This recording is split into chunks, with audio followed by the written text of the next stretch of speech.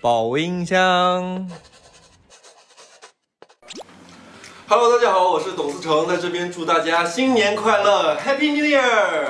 今天呢，我们我们就是要剪这个窗花，还有做这个灯笼，所以说今天我就也来尝试一下，先给大家打个样，示范一下。然后我们这边工作室小伙伴们都准备了很多道具，儿童手工春节趣味剪纸，和小朋友一起过新年。为什么是儿童手工？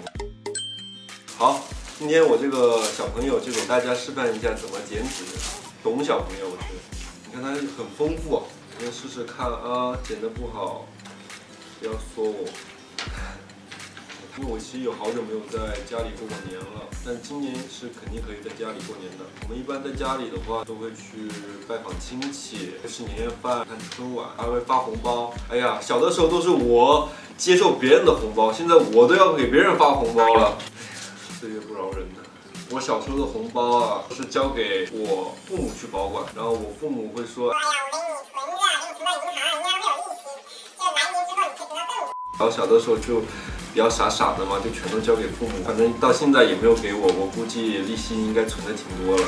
啊，现在好不容易可以红包归我管了，然后到我给大家发红包的时候，因为我家是温州嘛，温州的话其实它有个习俗，必须得有鱼。中国它有个成语叫年年有余嘛，就温州就是对于鱼这一块的讲究是非常讲究的，就是你这个黄鱼越大，就代表这家就是越阔绰，所以温州过年呢是必须得有鱼。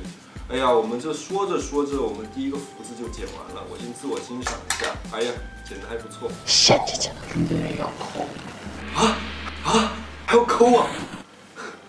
哎呀，我能不能给他写个福？哎，不行，写不了，我这这已经这样了。